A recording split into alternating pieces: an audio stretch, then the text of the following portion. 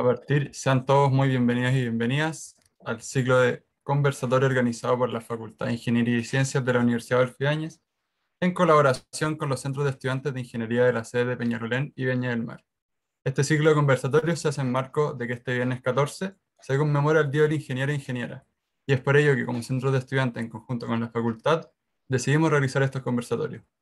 Al igual que el resto de los días de esta semana, se ha invitado a exalumnos y exalumnas de Ingeniería UAI para contar sobre sus experiencias como estudiantes de la universidad, su elección de especialidad y en qué están trabajando actualmente, para así ayudar a estudiantes que pronto escogerán especialidad, y también para aquellos estudiantes escolares que planean ingresar a nuestra universidad, responder la siguiente pregunta. ¿Qué hace un ingeniero o una ingeniera? En esta oportunidad traemos a dos invitados que hablarán sobre la especialidad industrial. Por un lado, tenemos a Joaquín Troncoso, ingeniero civil industrial de la UAI de la generación 2013, Formó parte del Centro de Estudiantes de Viña el año 2014 y obtuvo beca de honor todos los años de la carrera. Continuó sus estudios con un Master of Engineering en Industrial Engineering and Operation Research en la Universidad de California, Berkeley. Actualmente cumple el rol de Project Manager en Plasma Water, liderando distintos proyectos estratégicos de la, compañía. Además, desde el año 2020 asumió el rol de capitán de su equipo de rugby Old Macallians, RFC, y espera con ansias volver a competir cuando la pandemia esté más controlada. ¿Cómo estás, Joaquín? Hola Pablo, hola a todos. Eh, bueno, antes que todo, muchas gracias por la invitación y feliz de poder participar y contarles un poco mi experiencia en la universidad y como ingeniero. Así que gracias por la invitación. Gracias a ti por tenerte aquí. También nos acompaña en esta oportunidad Pilar Vázquez, ingeniera civil industrial UAI, apasionada por el rubro de la belleza y por crear soluciones que atiendan a los problemas de la sociedad actual. Decidió desarrollarse como profesional en L'Oréal Chile, alineada su pasión y misión de crecer en una multinacional. Realizó su práctica en el área de supply chain, donde desarrolló su proyecto de título, cuyo fin fue proyectar el stock en lenta rotación obsoleta. Actualmente está impulsando el crecimiento y posicionamiento de las marcas It Cosmetics y Kiehl's. ¿Cómo estás, Pilar? Hola, muy bien. Hola a todos y todas. Eh, muy feliz de estar acá para contarles mi experiencia. Muy felices nosotros también de tenerte aquí. Ahora voy a dejar que nuestros panelistas se presenten, que nos cuenten un poco acerca de su trayectoria y nos dejen ver cómo ha sido el desarrollo de sus carreras desde la especialidad que escogieron. La modalidad va a ser que vamos a dar 10 minutos para cada presentación. Primero iremos con Joaquín y luego con Pilar. Quiero además informar a los participantes que si tienen consultas o preguntas, pueden realizarlas a través del chat, ya que posteriormente vamos a seleccionar algunas de ellas y hacerlas a los panelistas. Bueno, sin más preámbulo, empezamos con tu presentación, Joaquín. Sí, no hay problema. Gracias, Pablo. Ahí voy a estar mirando el reloj, pero si me paso, tú me avisas para no, tener problema. Bueno, en términos generales, y, gracias por, por, el resumen que diste, Pablo, creo que explica un poco cuál ha sido mi trayectoria desde que entré a la universidad hasta donde estoy parado hoy día. Em, y poniéndome hoy día un poco en la posición donde están parados todos ustedes en este momento, em, ahí por el año 2012, yo me hacía con 17 años y no tenía muy claro qué estudiar. La verdad, en el colegio había ido bien en, distintas materias, pero tampoco era que sobresaliera demasiado en alguna y no tenía claridad. Al final uno tampoco puede esperar saber qué va a hacer toda su vida, ¿no es cierto?, cuando uno tiene solo 17 años, imposible. Imposible. Y, y mucha gente también después se cambia de carrera y está la posibilidad también de, de equivocarse, no hay problema con eso. En mi caso en particular, y el motivo por el cual yo elegí ingeniería civil y después posteriormente ingeniería civil industrial, es porque siempre tuve la concepción de que era una carrera que te permitía una gran flexibilidad en lo que tú quisieras hacer después. Y gracias a Dios fue así. Eh, hoy día en la actualidad, y yendo a ejemplos concretos, tengo compañeros de mi misma generación, que uno es dueño de un, de un local de comida saludable, otro trabaja en el Citibank sentado en Nueva York, y el otro trabaja como jefe de logística transporte de PIG, que es una empresa gigante a nivel internacional que si bien son muy distintas, eh, a todas puede llegar desde esta misma base que, que a través de la ingeniería. Y ahí yo decidí eh, justamente entrar a la, a la en el año 2013 y decidí también entrar a la base de Viña, que toda mi vida había sido de Viña. Y la verdad, siendo muy sincero, me encantó. Me encantó la capacidad que tiene la universidad de entregarte un amplio abanico de herramientas, tanto en materias duras, como son la, la ingeniería y la ciencia, que hoy día la estoy diciendo muchísimo, como también las habilidades blandas que son pero esenciales al momento de relacionarte con em, otros clientes, con otras empresas, con gente dentro de la misma empresa, y tener ambos carriles bien desarrollados te lleva después a, de todas maneras, sobresalir en lo que uno hace en la pega o, en otras organizaciones que pueda, que pueda participar. Em, cuando me tocó la decisión de si es que quería ser ingeniera industrial, si quería ser ingeniería civil, minería o, la que fuera, em, a mí eh, algo que me gustaba mucho de la ingeniería industrial era todo lo que tenía que ver con operaciones, específicamente con optimización con mejorar procesos, con mejorar eficiencias y sin dejar de lado lo que tenía que ver con lo que era más duro de la parte de industria. ¿ya? Había ramos como taller de procesos industriales, por ejemplo, que, que, es propio de ingeniería industrial, pero que también por su lado eh, toca ramos como marketing, toca ramos como, como organización industrial, ramos como finanza, que al final en mi como visión de lo que quería hacer me generaba, como te decía antes, un maletín de herramientas gigante. Y al final eso es lo más importante. Eh, yo creo que cuando uno entra a trabajar, y les va a pasar a ustedes cuando les toque, em, todos los problemas son distintos. Em, uno aprende en, la universidad a que hay que resolver problemas de optimización y tiene toda la información y espera que la empresa tenga toda la información y eso nunca pasa. Lo que sí uno tiene que tener es la capacidad de enfrentar un problema, verlo de distintos puntos de vista y decir, ok, me la juego con esta solución. Y al momento de tomar un proyecto, una solución o lo que sea, y ahí voy a, aplicar un concepto que me gustó muchísimo, que aprendí eh, en mi empresa, básicamente, es que los que sobresalen al final son los que tienen un sentido de ownership, un sistema de pertenencia, de hacerte cargo de lo que estás haciendo cuando yo he hablado con, y me ha tocado ahora, em, bueno, como, como, contaste tú, yo soy capitán de un equipo de rugby y tengo relación con cabros que tienen 17, 18, 33, de distintas edades, y los más jóvenes se me acercaron y me preguntaban, oye, no sé si estudiar ingeniería industrial, ¿por qué tomaría ingeniería industrial? Eh, después, ¿qué tan difícil puede ser la pega? ¿Qué tan difícil puede ser si después te hace un, un magíster al extranjero o lo que hagas? yo tengo una solución y una sola palabra que me gusta usar y es el ownership. Cuando tú te haces cargo de tu proyecto y lo tomas como propio, le va a dar la cantidad de tiempo, responsabilidad y seriedad que necesita y vaya a hacerlo bien. Ya sea, si tenéis que, y me ha tocado a mí la pega, pintar una muralla para grabar un prototipo, a em, preparar la evaluación de la compañía para la siguiente ronda de financiamiento, Mientras tú lo hagas con dedicación, de buena manera y sin flojear o, tratar de pasar piola, las cosas van a resultar y van a ser de buena manera y van a ser reconocidas por los demás. Eso como mensaje inicial.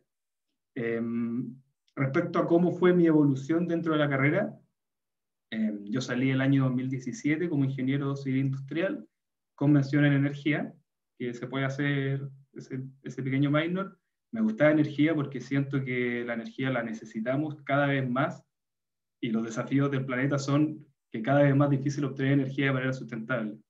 Entonces, conociendo un poco más sobre la energía, un poco más sobre la eléctrica, la electrónica, el eh, medio ambiente, sentía que iba a agregar también una herramienta más a mi maletín de herramientas y que hoy día me iba a servir y gracias a Dios me ha servido. Em, como cuando me titulé el año 2017 con mi generación, yo siempre, desde que ingresé a la universidad, tenía, no sé, la inquietud de hacer un, un, programa o un magíster inmediato, ¿ya? Muchos me dijeron que voy a hacer un error porque no sabían qué área desarrollar, tampoco sabía si te sirve tanto para especializarte, pero yo me tiré a la piscina y dije, ya, quiero postular, y de hecho traté de hacer el, el magíster en la universidad, que te permitía hacer eh, la segunda mitad del quinto año en el extranjero, quedé aceptado, eh, había postulado junto a un amigo que íbamos los dos en Colombia, así que teníamos demasiadas ganas de ir, pero al final hubo un, drama con la beca Chile, no se dio la beca y nos arrepentimos. Bueno, al final dije, ya quiero, quiero seguir con esto porque llevaba toda mi vida viviendo en Viña, tenía ganas de hacer algo distinto y conocer otras realidades universitarias como también profesionales, y postulé a la Universidad de California, Berkeley, que queda ahí al lado de San Francisco.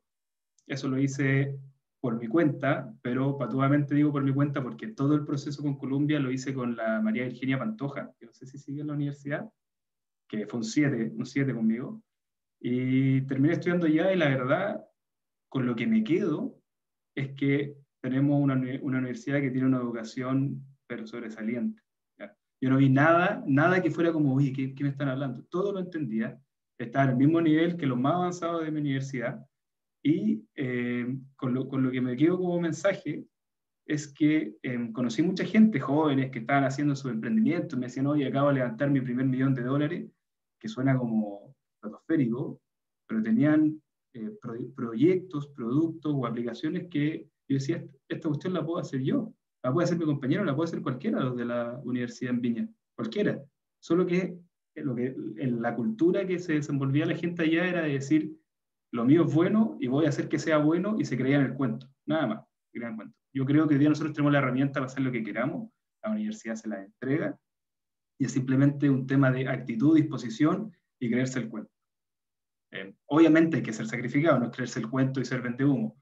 Hay que, hay que sacar adelante las cosas de manera responsable y ser bien cuidadoso y metódico en lo que uno hace, eh, ya que al igual que la carrera y la pega, no es algo difícil, pero sí requiere tiempo y sí requiere eh, dedicación. No es algo en donde uno puede dedicar el 50% de energía y hacerlo bien.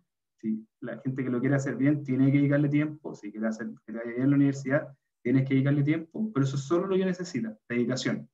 Eh, algo, una práctica muy buena que me ha gustado usar a mí últimamente es algo muy simple, hacer una lista y cumplir esa lista, nada más. Te sentás en la, mañana, decir qué es lo que tengo que hacer, cúmplela. Eso te va a llevar a ser ordenado, a alcanzar a hacer todo, a tener buena nota en la U, poder carretear con tus amigos, poder salir a jugar pichanga, solo es un tema de organización. Y hoy día, en mi campo laboral, ya que me quedan dos minutos, eh, estoy trabajando en una empresa de innovación tecnológica que se llama Advanced Innovation Center, que se tiene un nombre, eh, un nombre interesante en inglés, queda en Concon, eh, así que no muy lejos de la universidad, pero que hace cosas muy, muy, muy interesantes. nosotros nos dedicamos a desarrollar tecnologías habilitadoras, que son propietarias, pero que tienen una sola restricción, que generen innovación con sentido.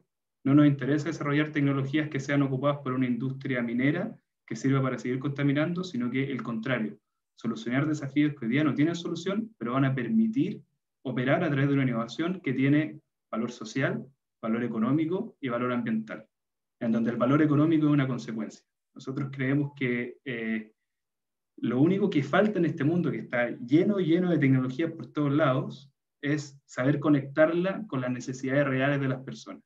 Ese es como nuestro mantra, y en eso nos dedicamos. Y hoy día particularmente trabajo como project manager porque hay que ponerle un nombre al cargo, pero la verdad hago de todo, de todo. O sea, últimamente em, estamos llevando a cabo una ronda de financiamiento que nos va a permitir llevar una de nuestras tecnologías, que es una tecnología que transforma el agua en plasma para sanitizar agua y hacerla disponible para beber, ¿no es cierto?, de forma distribuida. Em, yo estoy liderando un proceso en donde estamos integrando un nuevo gerente general que eh, viene de Siemens Canadá, como eh, gerente general de Siemens Canadá, otro de, em, que está sentado hoy día en Miami, otro en California, y tengo que estar articulando un grupo importante de gente para ver cómo vamos a levantar el financiamiento para desarrollar la etapa estratégica de la empresa. Y ha sido súper, súper entretenido y me remonta también a mis recuerdos del año que viví en California, en cómo, creyéndonos el cuento con un producto que es bueno, pero haciendo las cosas bien, nosotros podemos llevarlo a una posición que bajo nuestro punto de vista, no solo nos va a permitir eh, ganar muchas lucas, que no hay problema con eso en la empresa, pero de una manera distinta, llevando tecnología y soluciones a lugares donde el medio ambiente y, las personas vulnerables realmente lo necesitan. Así que creo que hice los 10 minutos justo. Eh, así que no sé si tienen preguntas o si después seguimos con las preguntas, pero es un, resumen general de cuál ha sido mi trayectoria como ingeniero. Sí, las preguntas, primero, muchas gracias Joaquín. Las preguntas las vamos a hacer al final después de que hable la Pili. Y qué importante eso que, que habláis tú de, yo creo que todos nos hemos cuestionado alguna vez como el nivel educacional que tiene la universidad a nivel mundial, que uno de repente no dimensiona la calidad de educación que uno recibe. Y, y qué interesante el concepto que habláis tú del ownership, que yo creo que es un poco del ponerle el granito de arena propio al proyecto, como de ponerle como es un poco de alma que, al final es lo que lo, lo, hace destacar. Sobre todo porque muchas veces tienen un proyecto y es como, ah, ¿quién lo hace? O sea, tú hazte cargo del proyecto y preocúpate que salga, y hinchale las pelotas al que tengáis que echarle las pelotas para que salga. Eso, eso es importante. Así que... Claro. Bueno, vamos a, a, continuar con, con Pilar, quien nos hablará de su perspectiva de industrial. Será también los mismos 10 minutos y luego procederemos, como dije antes, a las preguntas en el chat. Así que adelante, Pilar Nova. Ya, muchas gracias, Pablo. Eh, hola a todos y a todas. Espero que estén todos muy bien. Eh, como dijo Pablo, mi nombre es Pilar Vázquez, estudié Ingeniería Civil Industrial en la UAI, em, mi minor fue el de Bioingeniería y egresé en enero del 2020 y hace ya casi un año y medio que estoy trabajando como Retail Area Manager en L'Oreal. Em, ¿Por qué elegí Ingeniería Industrial? Eh, la verdad que a mí me pasaba que me gustaban muchas cosas y no sabía por qué decidirme y al final el perfil de un ingeniero industrial em, es bien amplio, el campo laboral es súper, súper amplio. Eh, la verdad que entre todas mis amigas y amigos que salimos de la carrera, todos hacemos cosas súper distintas.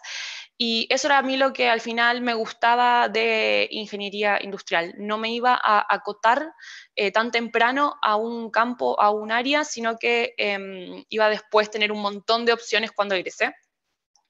Eh, y mi minor de bioingeniería, eh, sinceramente, fue porque yo siempre tuve un lado científico que amo eh, por mucho tiempo de mi vida quise estudiar medicina, así que por eso elegí el minor de bioingeniería y dije, bueno, y ahí veré cómo lo uso en mi futuro. Em, no lo pensé tanto, dejé que mi corazón elija el minor. Eh, así que bueno, les voy a contar un poco de las herramientas que me dio la universidad para afrontar el mundo laboral, para desarrollarme como profesional, porque yo la verdad que me acuerdo en mis primeros años de universidad y era tanta matemática y tanta física, y yo medio que me decía a mí misma como, y cuando esté trabajando que voy a estar con un lápiz y un papel haciendo cálculos, porque el primer año me acuerdo que me la pasé sentada haciendo cálculos y como que no entendía muy bien. Si igual yo encima empecé la universidad con 17 años, era súper, súper chica, hice todo el primer semestre con 17, entonces la verdad que era como, bueno, ahí, ahí veré qué es lo que pasa en el futuro, decía.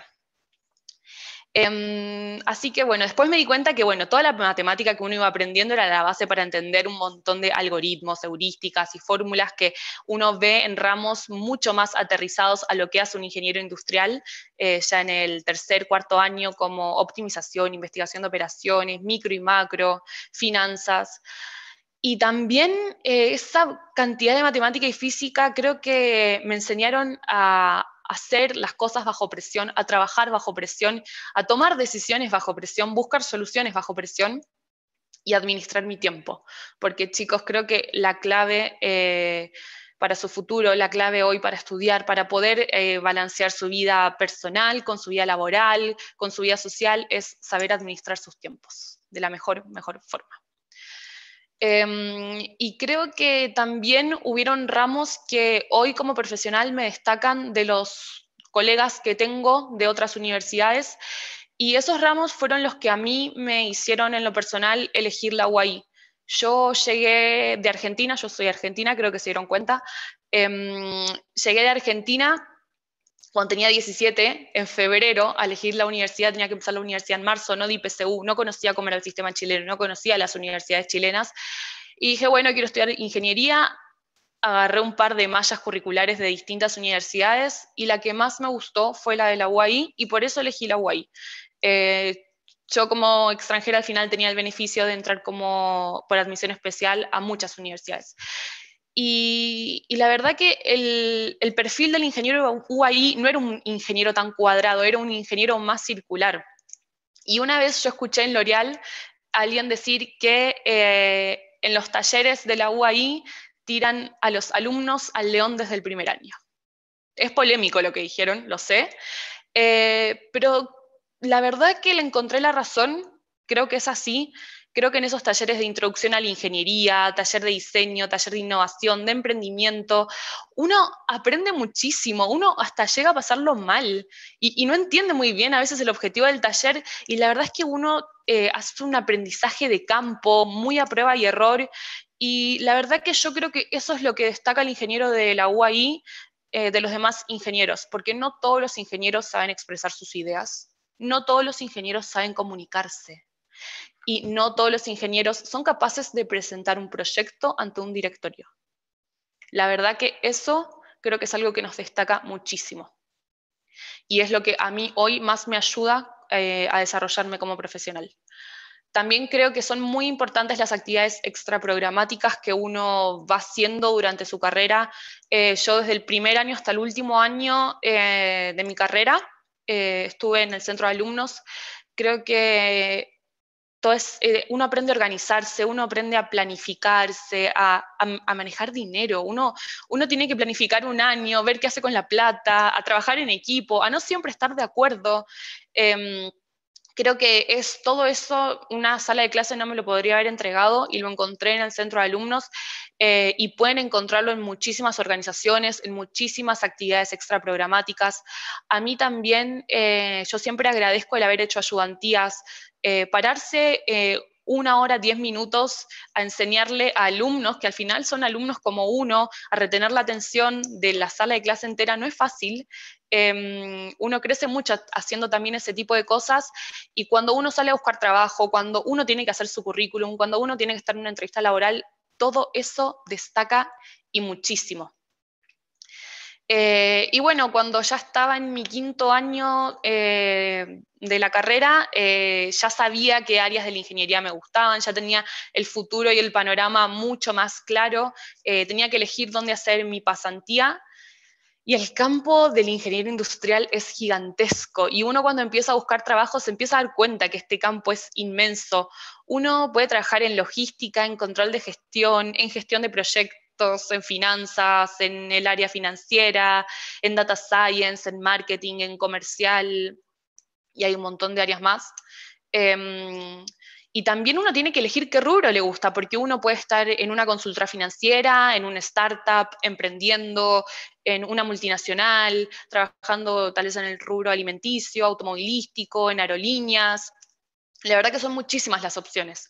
Y eso es lo rico también, como que uno no, acota eh, tanto el campo. Mi elección fue la logística. Elegí eh, la logística porque eh, los ramos de optimización eran los que más me gustaban, los que siempre me apasionaron. y elegí el rubro de la belleza. Elegí L'Oreal, postulé y quedé. Así que hice mi proyecto de título en L'Oreal en el área de supply chain o cadena de suministro en español. Eh, y mi proyecto eh, era proyectar el stock que iba a entrar en lenta rotación y en obsoleto en la empresa. El proyecto lo hice usando una herramienta que se llama Power BI. No sé si la conocen. Em, es una herramienta de Microsoft bastante sencilla que es para el análisis de datos, eh, pero era un programa nuevo para mí. Y al principio como que tuve miedo, dije, tengo que usar un programa nuevo, todos los programas que son la universidad no me sirven para hacer este proyecto.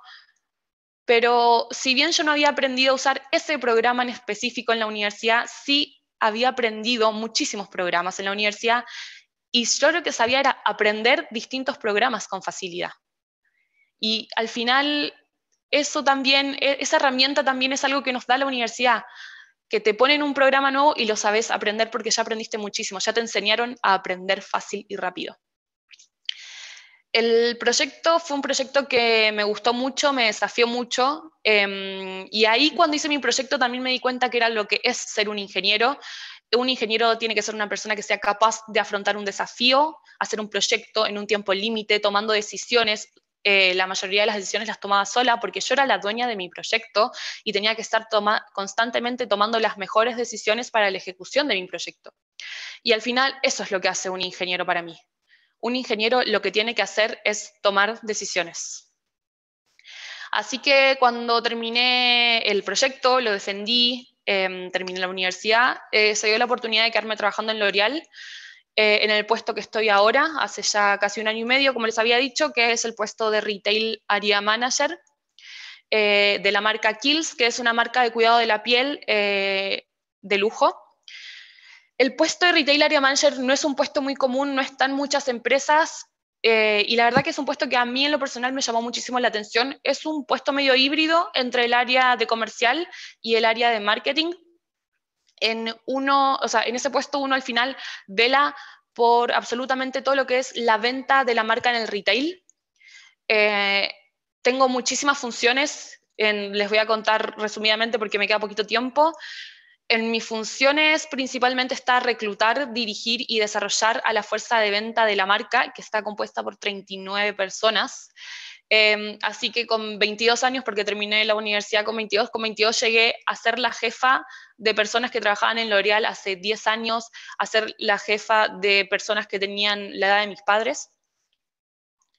Eh, velar por el cumplimiento de todos los procesos de las tiendas propias, porque Kills es una marca que está en el retail, en Falabella, pero también eh, tiene tiendas propias y una tienda propia requiere un control logístico, un control de inventario, un control financiero súper importante, eh, porque a las tiendas propias las fiscalizan muchísimo.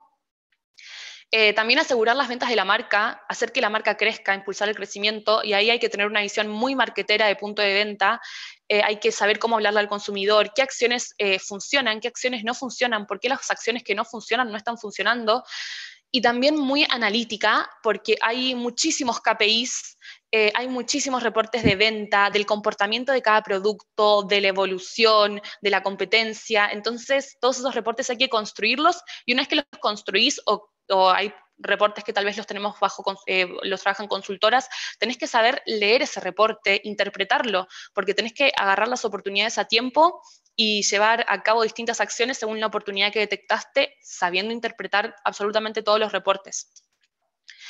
Y todo ese trabajo se hace bajo muchísima presión porque si alguno está interesado en el área del retail, les vengo a contar que el área de retail es un área muy, muy intensa. Eh, siempre muchos colegas dicen que el retail es donde las papas queman. Creo que sí, porque créanme que cuando les digo que todos los días hay un problema, todos los días hay un problema. Yo empiezo mi día y digo, hoy voy a hacer esto, esto, esto, parto con mi listita y siempre mi listita queda a un costado y me voy a resolver todos los problemas que surgieron. Y ahora eh, con la pandemia, la verdad que no es un problema por día, son mínimo cinco, pero creo que la universidad me dio todas las herramientas necesarias para afrontar eh, este desafío. Y bueno, en el 2021, eh, en febrero, se sumó a mi cargo la marca It Cosmetics. Es una marca que lanzamos en Chile eh, este, sí, este mes. Em, y bueno, ahí tengo que asegurar el lanzamiento y el posicionamiento de la marca en el retail a nivel nacional en donde hay que tomar muchísimas decisiones estratégicas, porque como les dije antes, o sea, hay muchas áreas, hay muchos rubros, pero creo que lo que todos vamos a tener que hacer va a ser tomar decisiones. Todos ustedes, como si deciden ser ingenieros industriales, y creo que si, si son ingenieros, van a, van a tener que ser capaces de tomar buenas decisiones, ojalá las mejores decisiones, eh, y hasta en los peores escenarios, y a veces bajo una presión casi intolerable, y van a tener que ser capaces de tomar la mejor decisión. Así que bueno, esa es mi experiencia. Eh, muchas gracias por su atención, muchas gracias a los chicos del Centro de Alumnos por su invitación. Espero que los haya orientado Em, y como consejo, la verdad es que aprovechen absolutamente todas las herramientas que les da la universidad, porque chicos, eso va a ser lo que después los destaque en su futuro. ¿sí? Eh, van a salir todos con la misma carrera. Entonces, destáquense, aprovechen absolutamente toda herramienta que la universidad da. Ese es mi consejo para ustedes. Y ahora eh, creo que sí, Pablo, vamos a las preguntas. Sí, oye, muchas gracias, Pilar, por tu testimonio un poco de cómo ha sido el ambiente laboral, el paso por la universidad. Y lo importante yo creo que es, eh, una vez es como que se cuestiona en el plan común, como dijiste tú, estos ramos que son más duros, que dice esta matemática, como dijiste tú, yo no voy a estar con un lápiz toda mi vida calculando integrales dobles polares que no me van a servir para nada, que al final uno no le entiende nada al sentido del minuto, pero finalmente son lo que decís tú, que es este trabajo en presión y, y el hecho de tomar decisiones, como, como decís tú y que dicen en L'Oreal, lo del tirarse a los leones en, los talleres, claro, yo creo que es la oportunidad para equivocarse y el no tener miedo a equivocarse en tomando decisiones. Sí, y uno adquiere tanta experiencia, uno realmente ahí uno aprende también, empieza a tener una visión mucho más de negocio, una visión mucho más empresarial. Y en la UAI esa visión te la inculcan desde muy chico, desde el primer año que te inculcan esa visión. Bueno, ahora eh, pasaremos a la etapa de las preguntas. Eh, tenemos unas cuantas anotadas que hicimos llegar ante nuestros panelistas, pero aquí va a estar encargada y me va a acompañar y ayudar eh, Francisca Lae, presidenta de SEIN. Así que adelante, Fran, te paso a ti el micrófono. Buenísimo, sí. la verdad hay hartas preguntas en el chat, así que vamos a tomarnos más que nada de esas, ya que es lo que realmente están preguntando por aquí el público. En primer lugar, y así como para comenzar así desde lo inicio, preguntan por ustedes entraron a estudiar ingeniería industrial porque les gustaban las matemáticas, porque tenían posibilidad de trabajar en cualquier cosa. Sé que ustedes ya tocaron ese punto antes, pero para que puedan profundizar un poco más en eso y en cómo llegaron a querer estudiar ingeniería civil industrial en la UAI. ¿Quieres comenzar tu, Pilar? Eh, dale, mira, yo la verdad que yo no pensaba tanto en lo que iba a estudiar como durante la carrera, sino en lo que iba a hacer en el futuro. Y yo decía como, ¿qué me veo haciendo? Yo me veo trabajando en una empresa. Yo decía, yo quiero crecer en una empresa, eh, quiero hacer carrera dentro de una gran empresa, ojalá una multinacional, ojalá eh, vivir en distintos países. Em, y ese era mi objetivo y la herramienta que me iba a ayudar a mí a cumplir ese objetivo era la ingeniería industrial. Em, mi visión como cuando una, elegí la carrera iba como más, más a futuro, más a largo plazo, porque van a estar estudiando cinco años de su vida, tal vez seis, siete, pero el trabajo es para toda la vida. Exacto, yo, yo quiero complementar un poco con lo que dice Pilar, eso fue básicamente lo que pasó por mi cabeza también. Y respecto al punto específico de las matemáticas, eh, o sea, yo creo que hay poca gente que le encanta las matemáticas, así que le encantan las matemáticas. Las matemáticas son una herramienta, puede ser entretenido, pero al final, cuando uno entra a la universidad, em, uno se da cuenta que los profesores son buenos, hay buenos profesores de matemáticas, y algo que a mí me encantó de la universidad era que no era una universidad que dejara alumnos atrás. O sea, tenían que explicar siete veces la misma materia, lo hacían, y los compañeros también se bancaban a todos los compañeros porque sabían que era necesario para poder después desempeñarse bien en esa carrera. Así que si hay alguien que hoy día no le gusta tanto la matemática, no significa que va ser un mal ingeniero, de hecho, que va ser un excelente ingeniero. Y que si siente que quizás no sabe tanto de matemática, la universidad parte muy básicamente y pasa por todo el área necesario para poder aprender.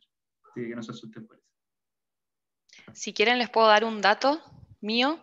Eh, no sé si usted, no sé si lo siguen haciendo, pero el primer año de universidad, cuando uno entra a la carrera, tiene que hacer una prueba de matemática, que es como la PSU, pero mucho más fácil.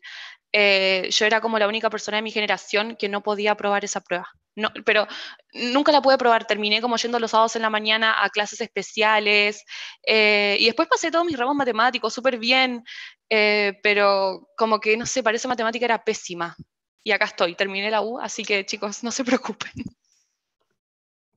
Qué bueno, sí. La verdad es que la universidad da hartas instancias al día de hoy, hay tutorías y todo, así que es verdad. Especialmente en primer año están todos los esfuerzos para que, y todas las posibilidades para que puedan pasar los ramos. y, y, ahí avanzando ya, si ya, ya estaban dentro de la carrera. Sé que también ya tocaron este punto, pero para reforzar un poco más el tema de cómo fue elegir la especialización. O sea, acá hay preguntas en el chat, por ejemplo, que dicen, ¿en qué nos recomiendan basarnos para elegir nuestros minor y especializaciones? Que cuenten tal vez un poco de su proceso de cómo descubrieron qué áreas les atrayeron, les atraen más en, su momento o cómo fue descubrirlas, porque también una duda muy común que tenemos como estudiantes a veces es no sé qué me gusta, cómo descubro que me gusta. Entonces sería interesante que nos cuenten un poco desde su perspectiva.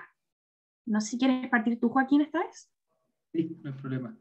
Em, yo algo que hice y que creo que fue una buena herramienta eh, fue tratar de conversar con gente que trabajaba en, esa área. Por ejemplo, si era alguien de ingeniería civil en minas, alguien que trabajara en minería, ingeniería civil eh, en informática, eh, alguien que trabajara en informática, porque así uno se puede ir dando cuenta de qué hace esa persona en particular.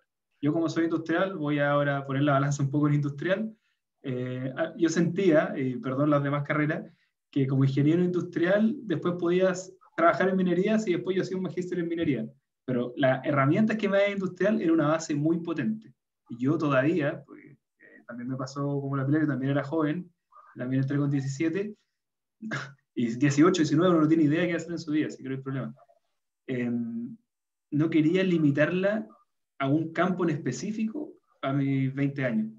Entonces yo sentía que ingeniería industrial me iba a permitir seguir mi carrera y después ir con un conocimiento más amplio, saber qué quiero hacer. Y si después quiero hacer algo en, minería, puedo hacer un diplomado en minería, puedo hacer un magíster en minería, pero toda la base ya la tengo. Así que ese fue como mi, pensamiento y creo que estaba medio decidido desde que entré a estudiar. A mí me pasó un poco lo mismo que Joaquín y me pasaba que iba a absolutamente todas las charlas y de todas las charlas salía diciendo, esta es mi carrera. Iba a la minería y decía, voy a estudiar minería. Iba a la energía, voy a estudiar energía.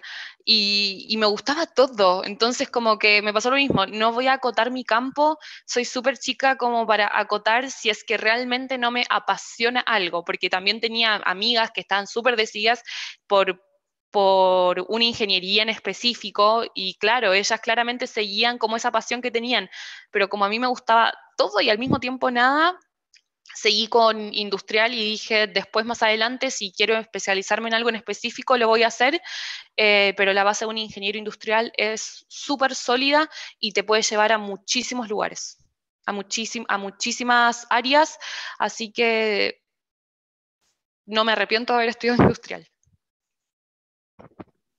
Qué bueno, y qué bueno saber esto, o sea, de que al final muchas veces uno siente que tiene que ya tomar decisiones y tal vez privarse un poco, cerrar un poco su horizonte y las decisiones, entonces es muy bueno saber eso, que al final mantener siempre esa visión de que abierta y descubrir nuevas cosas. Eh, yéndonos a otro tema, en el chat también preguntan por qué Joaquín, por ejemplo, eligió un método de titulación en magíster, cómo fue tu experiencia también en el extranjero, preguntan aquí si quieres ahondar un poco más. Y bueno, Pilar también puede opinar luego del tema de cómo, de, de su mecanismo de titulación y cómo fue también tu experiencia. Eh, bueno, la verdad yo no lo había pensado. A mí me hicieron, mandaron como un correo diciendo, hoy acá hay ciertas personas que cumplen con los criterios para hacer la titulación con magíster, los invito a una charla. Y en la charla em, fue harta gente, varios eran amigos míos y nos entusiasmamos varios porque era una buena alternativa de terminar tu carrera y a permitirme también mejorar mi inglés, que es algo que no, no, no, toqué en el punto anterior, pero que hoy día yo creo que es un sí o sí. O sea, si uno quiere trabajar en empresas, y quizás Kelar también nos puede contar, empresas multinacionales, empresas pequeñas, empresas del, del ámbito que sea, creo que hoy día el inglés es muy importante y los próximos años va a ser cada vez más importante pero eso, eso es un tema aparte. Entonces, eh, yo tuve la posibilidad de postular y dije, y me pasa a mí mucho, dije, bueno, ¿por qué no? O sea, tengo la posibilidad de postular, voy a postular. Y tuve un quinto año, un quinto año muy extraño porque nos separaron a todos los que íbamos a hacer magíster en el extranjero, que éramos como 15 entre Viña y Santiago, y nos tiraron a hacer un capstone acelerado. Era un capstone que duraba, creo que, porque como uno no tenía garantizado entrar al magíster, tenía que hacer un capstone en cuatro meses. Entonces fue súper, súper intenso. Eh, a mí me gustó bastante, bastante. Yo sé que hay gente que quizá no le gusta tanto el capstone, pero cuando uno tiene una buena empresa que te entrega eh, buen, buen, buenos datos, ¿no es cierto? Y buen apoyo, puede ser algo muy, muy entretenido. Yo particularmente trabajé con, con un compañero en, mi proyecto de capstone y fue para ver la factibilidad económica y ambiental de poner una planta de GNL en eh, gas natural licuado en Concepción. Eh, fue con GNL Quintero, que es la empresa que, más grande de gas natural acá en Chile, y querían poner la posibilidad de poner eh, un, puerto en Concepción, entonces había que hacer todos los estudios, las simulaciones para no tener quiebre de stock, las variaciones en demanda, variaciones también que podían tener con falla. Entonces fue súper, súper entretenido y tuvimos que correr para hacerlo. Eh, y durante ese proceso, como te conté antes, quedé en la universidad, pero al final decidí no irme porque no contaba con la beca y dije, es un programa caro, no, no era para nada barato, y quizá no es el magíster que más me representa. Así que después busqué otro magíster que fue el que terminé haciendo en Berkeley y siguiendo más o menos los mismos pasos que tuve que hacer para postular a Columbia, terminé siendo aceptado en Berkeley y fue una experiencia, la verdad, la verdad, eh, buenísima. Eh, la cantidad de personas que uno conoce, eh, el nivel de profesores con el cual uno interactúa, el ambiente y la cultura también del lugar fue, fue algo que a mí me sumó muchísimo como persona y que hoy día también veo que está pagando sus dividendos en donde estoy trabajando. Así que, eh, como yo comentaba, había vivido toda mi vida en Viña, tener la posibilidad de salir y darte cuenta que eh, las cosas son iguales en todos lados y que lo, la receta para hacer las cosas bien sigue siendo la misma, eh, fue muy, muy importante. Y hoy día tengo compañeros que trabajan en Uber, que trabajan en Facebook, que trabajan en, en Amazon, y son contactos que siempre es bueno tener cerca. Así que es un poco, en resumidas cuentas, cómo fue mi experiencia de titulación. Ya. Eh, Mi experiencia de titulación, yo elegí hacer pasantía. Em, para los que no saben, eh, uno puede elegir distintas formas de terminar la carrera. Una de esas es trabajar seis meses en una empresa, eh, durante esos seis meses desarrollar un proyecto y después ese proyecto se presenta ante un comité y eh, uno defiende la tesis con ese proyecto, o sea, defiende el título, perdón, con ese proyecto. yo elegí ese, como ese mecanismo de titulación principalmente porque siempre me pasa lo mismo, me gustaba todo y al mismo tiempo no me gustaba nada. Y dije, quiero trabajar primero en una empresa, quiero realmente hacer el trabajo, porque yo quería hacer eh, un eh, máster en logística. Dije, como quiero hacer el trabajo de un logístico para saber realmente si, si es lo que quiero hacer. Entonces, por eso elegí hacer la pasantía. Eh, la verdad que amo la logística, me sigue encantando, me encantaría en algún momento de mi carrera volver a esa área. Em, eh, y bueno, hice el proyecto, eh, dije después, si es que no, no quedo contratada en la empresa, porque mi objetivo siempre fue quedar contratada en la empresa, si es que no quedo contratada en la empresa, pero la opción de, de, de hacer algún posgrado, un magíster, un máster, lo que sea. Em, y quedé contratada, así que acá estoy trabajando, pero sí creo que uno nunca tiene que dejar de estudiar. Creo que hay muchos ingenieros industriales y uno también tiene que eh, saber cómo destacar, saber cómo Em, diferenciarse por sobre los demás ingenieros. Eh, así que claramente no le cierro las puertas al estudio para el futuro, sino que creo que es algo que necesito hacer y tengo que hacer. Buenísimo, es muy importante eso, el factor diferenciador. Y en esa misma línea también agregar un poco, porque también lo preguntan por el chat, eh, ¿cómo, ¿cómo se comparan con ingenieros de otras universidades? O sea, al final el trasfondo de esto es cuál es el sello que les dio la universidad como ingenieros que sienten que se valora en el mercado laboral hoy en día. Eh, yo creo que es lo que les conté antes, que al final son los talleres, eh, también todas las habilidades blandas que uno tiene en la universidad.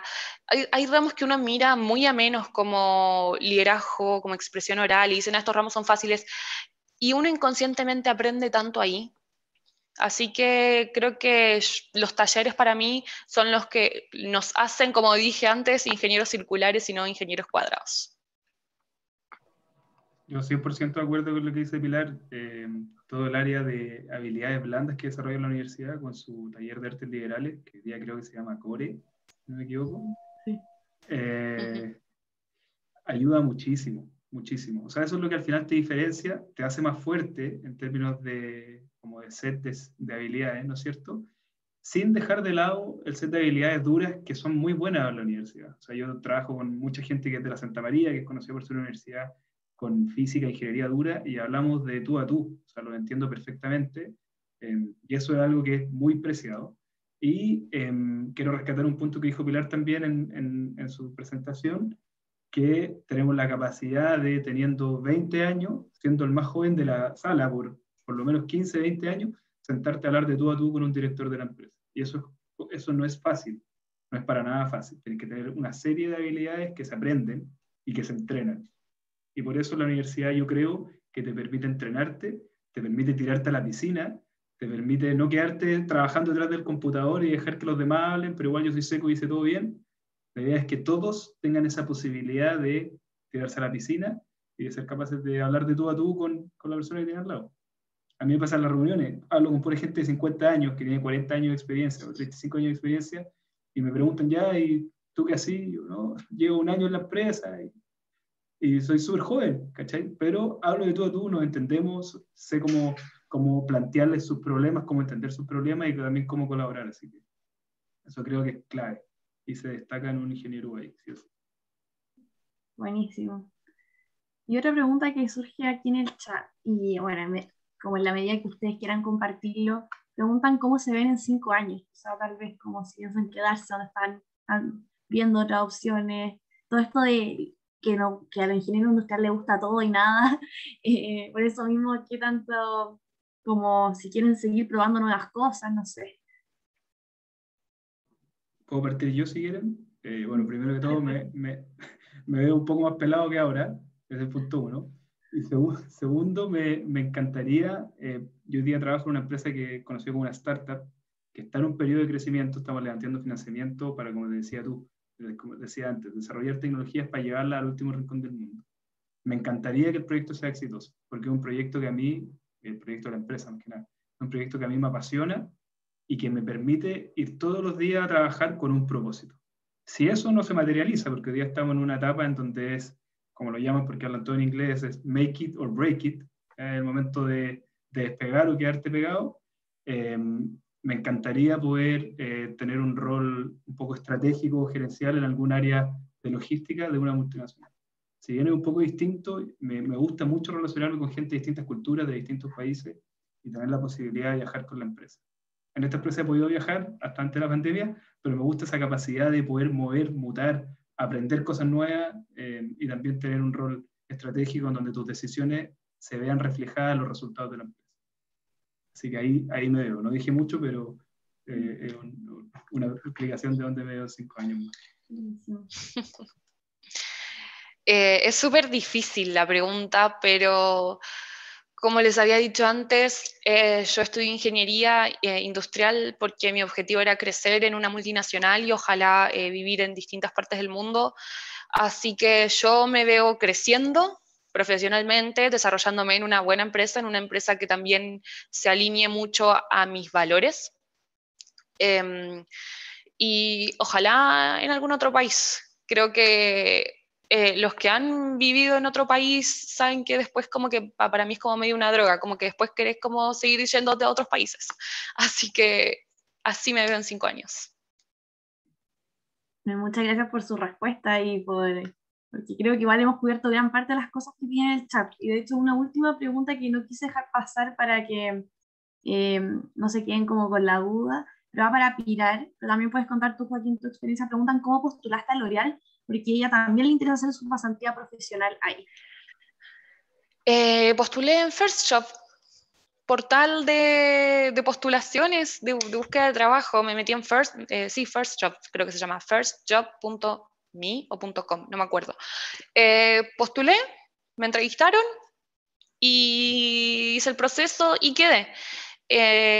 Muchos alumnos que empiezan haciendo la práctica o la pasantía se quedan trabajando en la empresa. Eh, en L'Oreal y en otras empresas. Y yo sabía que al final, por lo menos en L'Oreal, la fuente principal de reclutamiento eran los practicantes, entonces por eso mismo también estaba como tan encaprichada, porque estaba súper encaprichada en hacer mi práctica ahí. Como que yo decía como, no, onda, le, le decían recursos humanos a las personas de L'Oreal, no, es que si yo no quedo acá me muero. Onda, decía, mi objetivo es L'Oreal o nada. Y así que esa persona también como que peleé mucho, eh, insista mucho en la empresa, eh, que con las ganas yo creo que se puede. Eh, y eso. Lo necesito, gracias. Ahora que estoy tranquila, Sabina. Buenísimo. ¿Y tú, Joaquín, cómo llegaste a ese trabajo? Fue bastante distinto. No sé si, bueno, quizá le suena a alguno, quizá no. El, el, fundador de mi empresa se llama Alfredo Solesi, que es una persona bien reconocida en Chile en términos de innovación.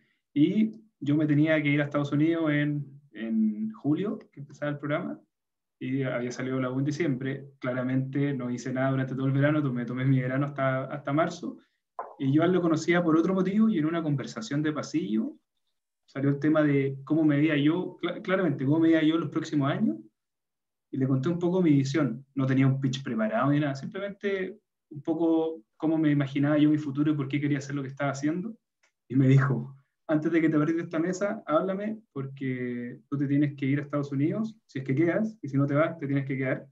Pero de todas maneras, vas a tener de acá a agosto para hacer algo. Y yo sé que por tu personalidad no vayas a estar mirando el techo.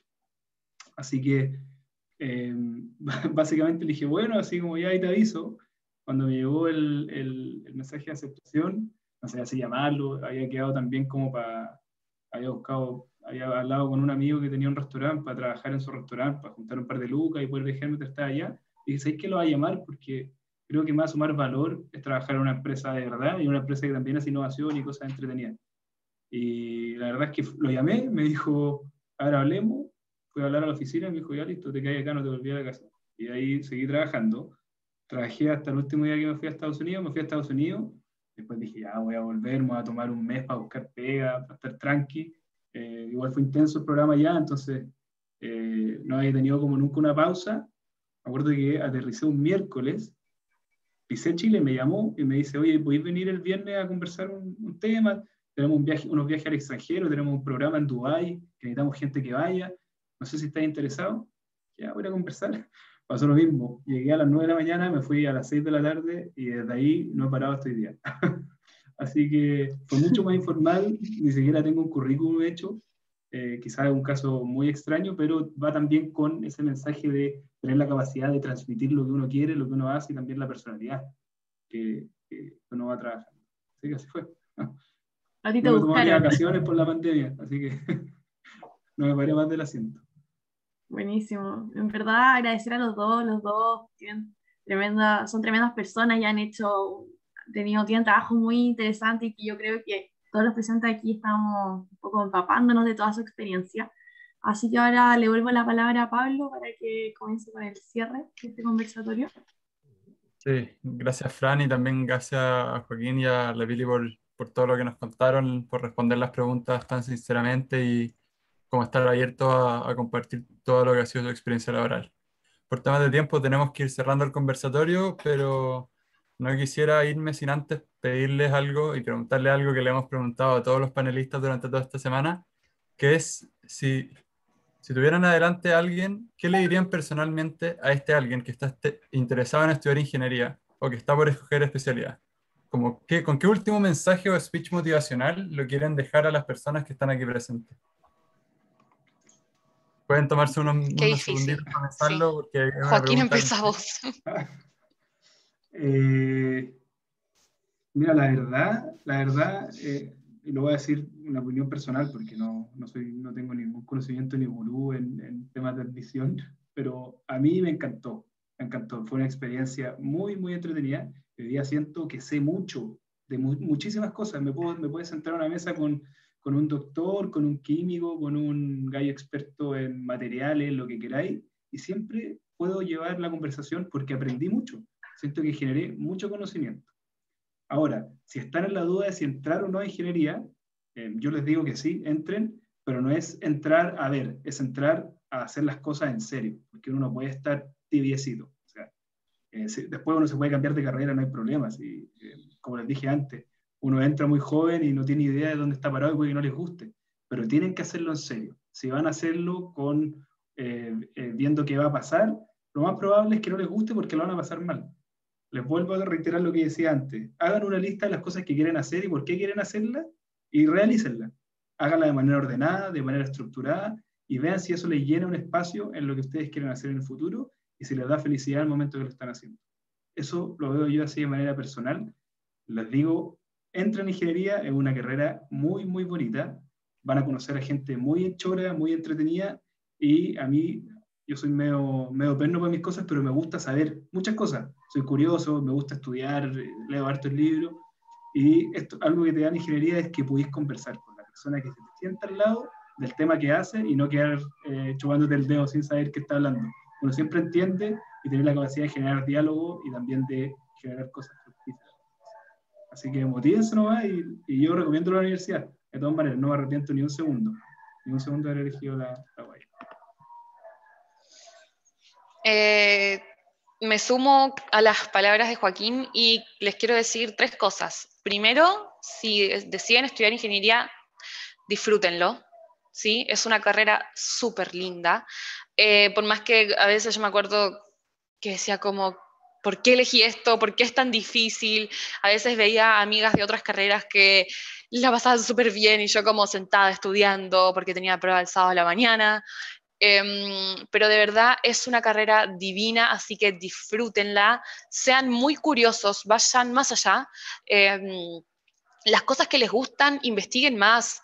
Eh, si algo los apasiona, eh, no se queden solo tal vez con lo que el profesor les da, sino que eh, realmente sean curiosos y exploren esos temas eh, y también que sean ambiciosos. Pónganse metas y cúmplanlas. Eh, yo creo que un ingeniero es capaz de hacer absolutamente todo, así que créanse el cuento y sean súper ambiciosos. Oye, muchas gracias por esas palabras. Yo creo que eh, es fuerte decir que ingeniería es una carrera bonita, porque la, la visión global es que es una carrera dura donde uno lo pasa pésimo con las matemáticas y la física, pero yo estoy completamente de acuerdo con ustedes de que es una carrera muy bonita que te da un abanico, como decía Joaquín, este como toolkit de, de habilidades, que además la universidad tiene en conjunto con lo que son las artes liberales, los talleres, liderazgo, expresión oral, que al final es lo que nos distingue después en el, en el mundo laboral.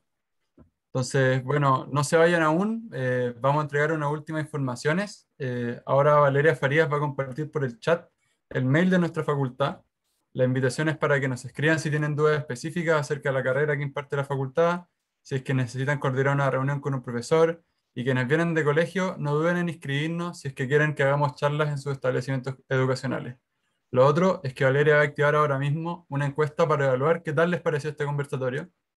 Les pido por favor que la respondan, así lograremos obtener feedback para futuras actividades. Mientras contestan las preguntas, eh, no quisiera irme sin antes agradecer la presencia de Joaquín y de Pilar eh, por habernos dado esta mirada dentro de lo que estudiaron, las habilidades que adquirieron y cómo las han aplicado en su vida profesional. Además, quiero dejar invitados a los estudiantes de colegio que están presentes a inscribirse a las próximas actividades que tenemos dentro de la UAI. El día jueves 3 de junio, a partir de las 5, comienza el, el programa Conoce Ingeniería UAI. Y el día 7 y 8 de junio, respectivamente, comienza el programa de Pioneros de la Ingeniería UAI, un curso sobre álgebra y programación. Toda la información quedará en el chat y agradecer a todas las personas que pudieron venir y quedarse hasta el final. Eh, nos da gusto que haya interés por la facultad y carrera, así que esperamos ver a nuevos ingenieros e ingenieras pronto en nuestra facultad. Buenísimo. yo, yo, la verdad reitero las gracias. Eh, la hora se me pasó volando. Dije, oye, quizá una hora se hacer algo, lo va a hacer bacán. Así que feliz de ayudarlos también con lo que quieran. Eh, me pueden, les puedo dejar mi correo también por si alguien quiere preguntar cualquier cosa y, y gracias por la iniciativa. Feliz, feliz de, de haber sido parte. Bueno, como es la última... Sí, chicos. Dale. De verdad, muchas gracias. Estas instancias se agradecen muchísimo y me, mm, me acuerdo de cuando era alumna y la verdad que estas instancias son súper buenas, así que también eh, espero que para todos los que están acá escuchando que haya sido útil y les dejé mi correo en el chat por si alguno tiene alguna otra pregunta, feliz de orientarlos, de ayudarlos. Bueno, finalmente como es la última charla de esta semana, eh, para terminar un poco eh, como dicen por ahí en el broche de oro, queremos dirigirle unas palabras tanto Francisca como yo sobre, sobre la charla, lo que han sido estos días, así que te paso, Fran, para que tú adelante. Eso, gracias Pablo. El, para que también estén todos como en contexto, esto ha sido todo un ciclo de charlas de lunes a hoy día jueves, en que fue en torno a la Semana de la Ingeniería, y aparte de para nuestros estudiantes de la facultad hemos tenido distintos concursos, challenges que hemos tenido muy buena acogida y estamos muy agradecidos. Así que en representación a todo el equipo que conforma el Centro Estudiantes Por de Viña, bueno, también Pablo hablará por Santiago, de verdad queremos agradecerle por toda su motivación y por la participación que han tenido estos días. En verdad estamos muy felices por todo lo que se ha logrado a lo largo de este ciclo de charlas, que tanto los estudiantes de la facultad como también los estudiantes de colegio o de otras universidades hayan podido conectar con estas distintas especialidades. De verdad que ha sido muy, muy buena esta experiencia. Y eh, bueno, yo espero que la experiencia que nos trajo hoy día Joaquín, Pilar y los otros invitados e invitadas que hemos tenido los días anteriores, de verdad les hayan servido para poder conocer y encantarse nuestra carrera y, y también como de todas las especialidades que nos ofrece. Y por último, agradecerle a, a Valeria Farías de la FIC, que fue ella quien anda apoyándonos eh, a poder llevar, o sea, ha sido un trabajo en conjunto para poder tener este conversatorio y, y, la, y todo el ciclo de conversatorios que tuvimos. Y también a Pablo y todo el CEFIC por el trabajo en conjunto que hemos logrado esta semana.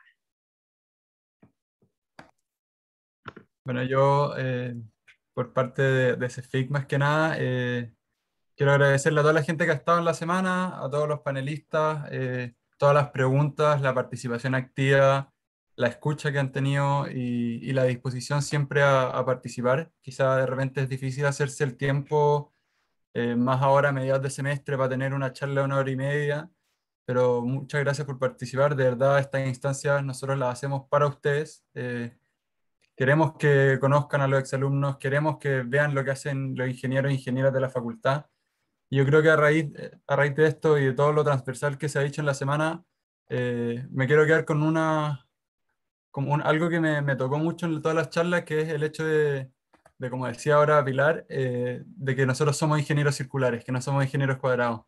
Como de lo importante que es tener estas habilidades blandas dentro del currículum, que uno no las valora. Eh, uno nunca le toma el peso hasta que se da cuenta que hay otra gente que no tiene estas habilidades porque generalmente no están en la malla curricular o no tienen ramos de artes liberales o de liderazgo, de cómo hablar como expresión oral. Entonces, para la gente que está dentro de la universidad, que valore esos ramos, que uno como presidente o como alumno, en verdad, no, no les toma el peso, trata de pasarlos nomás, que, que, que estén ahí nomás. Y a la gente o estudiantes de colegio, que, bueno, eh, ya saben más que nada qué es lo que nos diferencia como ingenieros UAI, así que la invitación y las puertas están abiertas y ojalá poder verlos en unos años más eh, como estudiantes dentro de la facultad.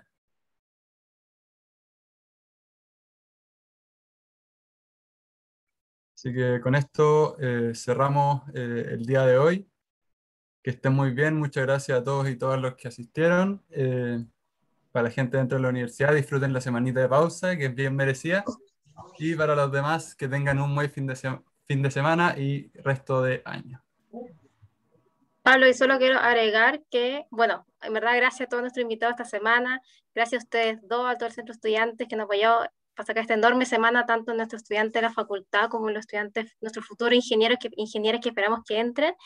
Y eh, mandaremos también todas las grabaciones de las cuatro charlas a sus mails. Así que ahí atento para que puedan también revivir alguna otra charla que se perdieron, porque todas estuvieron muy interesantes, así que en verdad motívense. Lo que tienen que ser elegir especialidad, ya eh, escucharon mucha experiencia, así que esperamos que les sirva y a los futuros eh, estudiantes también lo, lo esperamos.